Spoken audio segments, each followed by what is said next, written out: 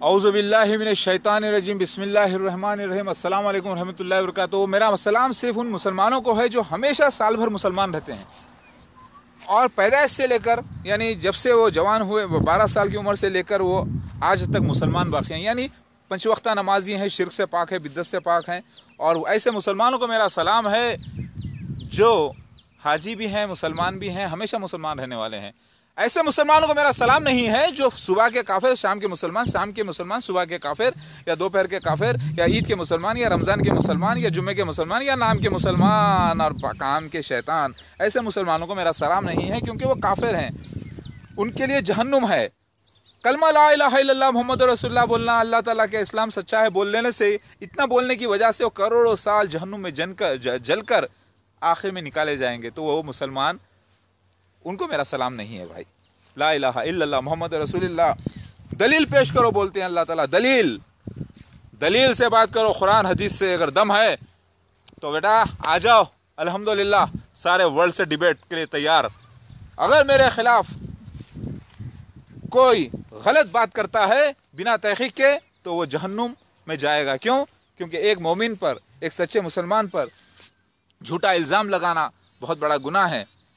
अल्हम्दुलिल्लाह, मैं अल्लाह का एक सच्चा बंदा जो ये इल्म आपसे बांट रहा हूँ अल्लाह के वास्ते, जैसे कि मैंने वादा किया था, अपने वादे पर क़ायम हूँ, अल्हम्दुलिल्लाह।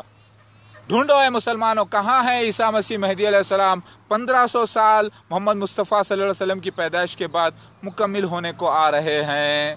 कहाँ है ईसा मसीह महदी सलाम? बताओ। उनका जन्म हो चुका है चौदह सौ साल जैसे ही मोहम्मद मुस्तफ़ा वसल्लम के मुकम्मिल हुए 1972 से 73 के दरमियान उनका जन्म लाजिम है। कहाँ है उनका जन्म? कहाँ हुआ है? कहाँ वो निशान पूरे हुए हैं? मसीद जाल के कहाँ वो निशान पूरे हुए हैं? दावत उलर्स के ढूंढ के बताओ। ए मुसलमानों, तुम पर फ़र्ज़ है। तुम लोग बहुत मज़ाक कर रहे थे ना? अल्लाह नहीं है। लोग अजीब अजीब फ़ोटोज़ बना के डाल रहे थे। काफेरीन कि देखो दावत उलर्स कैसा अजीब जानवर है, वगैरह वगैरह, आज वो सब शर्मिंदा होंगे, क्योंकि इस्लाम गालिब आ जाएगा। ये इस्लाम कोई नया मज़हब नहीं, ये हिंदुओं का ही मज़हब है पुराना, जिसे वो ब्राह्मणिज्म कहते हैं। ये वेदों का ही मज़हब है, जो नू सलाम के ज़माने में आया ये वही मज़हब है जो मूसा सलाम को दिया गया, ये वही मज़हब है जिसे दाऊद सलाम को मिला, यही वही मज़हब है जो मोहम्मद मुस्तफ़ा को मिला, ये वही मज़हब है जो एक ही है, जो सच्चा है, जो अल्लाह की सच्चाई बयान करता है। लोग वक्त में आके नाफरमान होकर मुशरकिन हो गए, नबी आसमाम का इनकार किया, वो लोग गुनागार हैं। सच्चा इस्लाम तो पहले से एक है, मुकम्मल किया गया मोहम्मद मुस्तफ़ा के वक्त, और अब गलबे का टाइम आ गया है, अल्हम्दुलिल्लाह, ला मोहम्मद रसूलुल्लाह। अगर मैं इस्लाम की बात करता हूँ, कुरान अम्बिया सलाम की तायद की बात करता हूँ तो क्या मैं काफिर? अगर मैं अल्लाह के हक में बात करता हूँ और दलील से बात करता हूँ, कुरान हदीस की तो क्या मैं काफिर?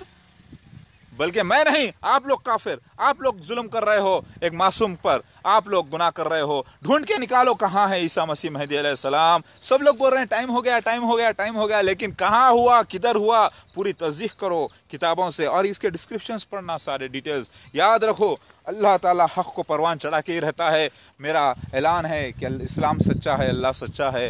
अल्लाह के ख़िलाफ़ मत जाओ, अल्लाह के अम्बिया सलाम के ख़िलाफ़ मत जाओ। जो ईसा मसीह महदी सलाम का इनकार कर देगा, वो सारे अम्बिया सलाम का अल्लाह का इनकार करने वाला होगा। मुझे मालूम है कि ईसा मसीह महदी सलाम एक शख्स रहकर साढ़े सात सौ करोड़ से लड़ना पड़ेगा उन्हें, और वो कामयाबी मिल जाएगी उन्हें, क्योंकि अल्लाह का वादा है गलब इस्लाम का, क्योंकि कुछ तो लोग ज़मीर फरोश नहीं होंगे, कुछ तो लोग अल्लाह वाले होंगे। चाहे वो मसीह दज्जाल में से ही क्यों ना हो कुछ। अल्लाह अकबर।